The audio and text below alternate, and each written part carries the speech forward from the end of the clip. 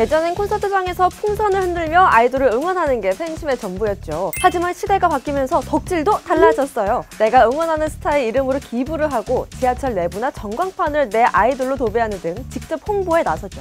단순한 팬덤을 넘어 내가 아이돌을 함께 발전시키고 또 성취감을 얻는 일명 팬슈머로 진화한 겁니다. 팬덤의 영향력은 갈수록 커져서 이제는 아이돌 그룹에게 직접적인 영향을 미치기도 해요. 최근 실검을 장악했던 그룹 엑소의 멤버 첸의 결혼 발표와 혼전 임신 소식. 일부 팬들은 첸의 독단적인 행동이 엑소의 이미지 훼손과 팬덤의 분열 등 그룹에 악영향을 준다며 퇴출 요구에도 나섰죠. 결국 지난 주말 첸의 퇴출을 요구하는 시위를 벌이기도 했습니다.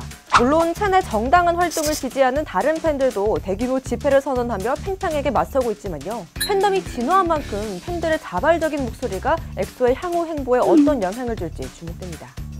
여러분 설날에 한복 입으시나요? 요즘은 명절이 아니더라도 고궁 같은 데서 패션으로 입는 경우가 많아졌죠. 이제는 교복에도 한복 열풍이 불게 될 것 같습니다. 이런 교복 어떠세요? 편해 보이고 개성도 있죠. 문체부의 한복문화진흥사업으로 공모전을 통해 개발된 디자인인데요. 빠르면 올해 2학기부터 교육부가 희망학교를 선정해 한복 교복을 보급한다고 합니다. 사실 한복에 손이 잘 안 갔던 이유 입는 게 까다롭고 활동이.